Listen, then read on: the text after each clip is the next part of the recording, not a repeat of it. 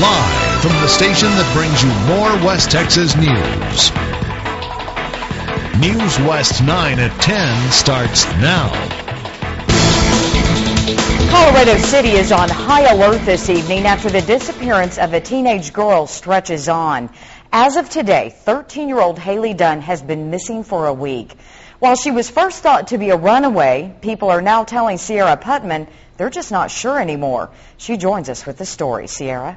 Well, Crystal, these flyers of 13-year-old Hailey Dunn can be found just about anywhere in Colorado City. And at first, police first were treating the case as a runaway, but after a week, they're now calling her a missing person. Tonight, everyone from police to Texas Rangers and even local radio stations are running that the are running the midnight oil to bring Hailey home.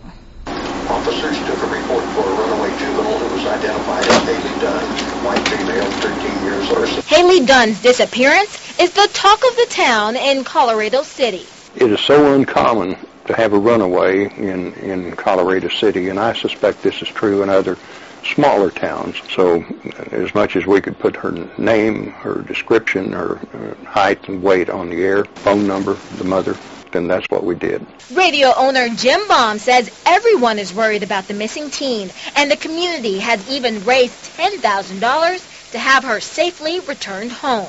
To tell you the truth, this is the first time, and I've been here 30 years, that we had a runaway like this.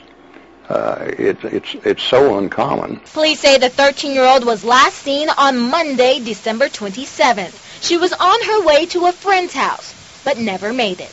Officers are working this as a missing person investigation and pursuing leads night and day to find Hailey. We will not rest until Hailey is found. Police first thought she was a runaway, but her mother and friends say she was a happy child and she didn't take anything with her. Now Colorado City and Snyder Police, Mitchell County Sheriff's deputies, Texas Rangers, and the DA's office are searching for the girl. After this much time has passed, many fear this may be more than just a runaway case. First couple of days, for sure, a runaway. Next several days, you stop and think. And now after a week, um, as a parent myself, I worry that it's not a runaway.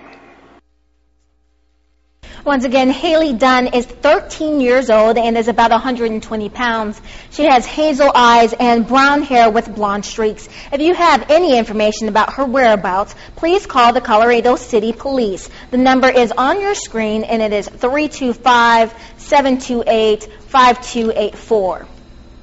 Reporting live in the studio, Sierra Putman, News West 9.